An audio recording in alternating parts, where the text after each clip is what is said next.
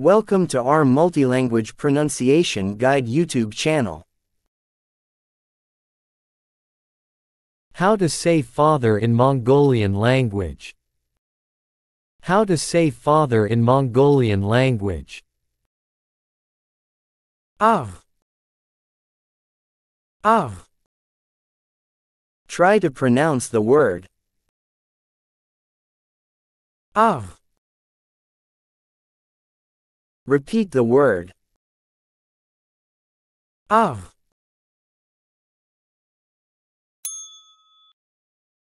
Congratulations! You learn how to say this language. Well done you did great and thanks for watching. Please subscribe if you like our video.